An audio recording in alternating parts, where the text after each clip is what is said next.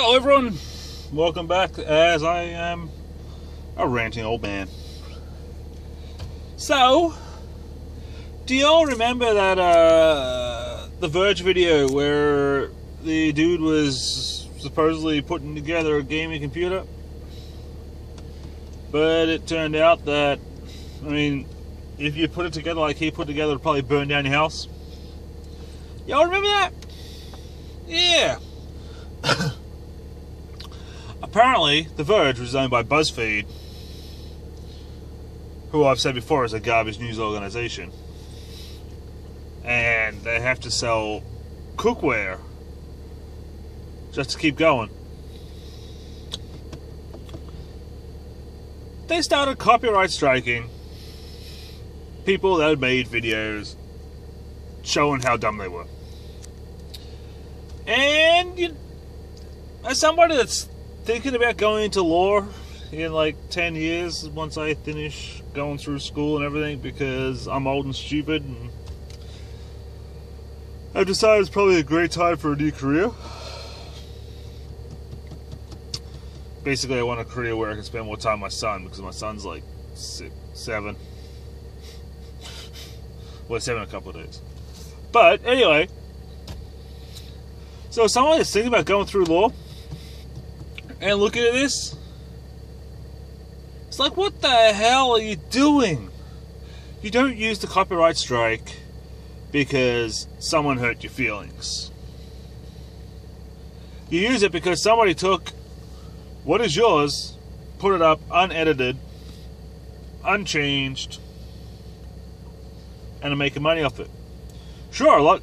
The pro- I think one of the biggest problems is a lot of the videos where they were reviewing and looking at these people that and they were showing what the Verge did wrong and basically making jokes of them because I mean what dude used half a freaking tube of compound paste? For the freaking for the freaking CPU and it's just like that's not right. And then had to basically make a little correction afterwards in the friggin' um, oh Jesus, what's it called? The description. Sorry, it's been a long day. It's been a long day. It was like minus 30 this morning with wind chill.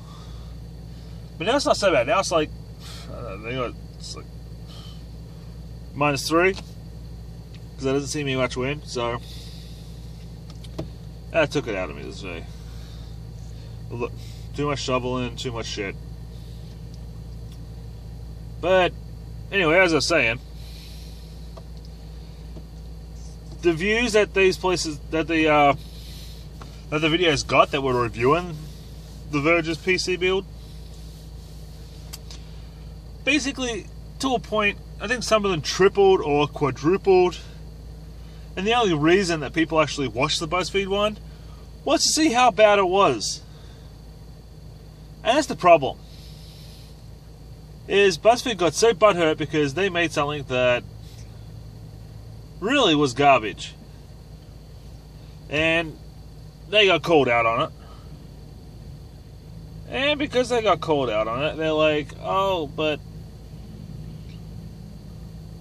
But you can't do that. You can't make more money than us off something we made, even though you are totally within fair use and yeah. No we want the money for it. And it's been long enough that we think that we can probably throw copyright strikes out and nobody's really going to care. Because if they'd done this like in the first well the first month of that video going live and all the freaking reviews of going live there would have been hell to pay.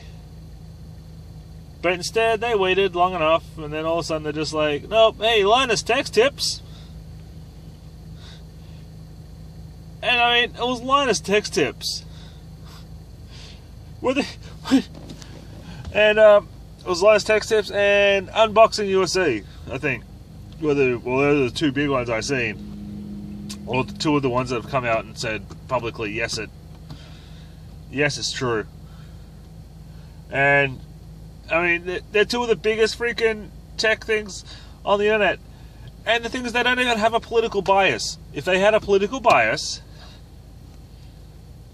if they had a political bias where they were actively on the right and actively calling out the race or sexuality or whatever it is of the guy that was on there, I would say have at it. I say those copyrights, are, those copyright strikes are no problem. But if you're just going after people because you're butthurt and because, oh my god, the comment made me sad, that's just being stupid. And all it is is showing once again while while YouTube's copyright strike system is a big load of BS. I had a gaming channel. I still do have a gaming channel. I just got tired of the BS. But I got hit with three copyright strikes. Three copyright strikes. And it was like, what did I do? One of them was a vlog like this. One of them was literally vlog like this. And they tried to say there was music in the background. It's like there's no music in the background. There was no music in the background. The radio off like I do now.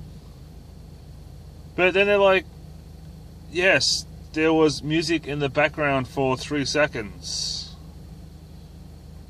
And this person doesn't want the music used in your vlog. Okay, I think it was a vlog about pineapple on pizza too. Because that's right political.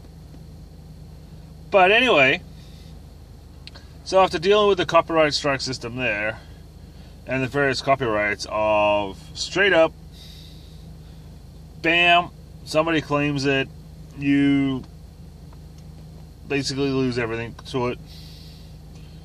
You can try and take out the music if you want, but even that doesn't work half the time.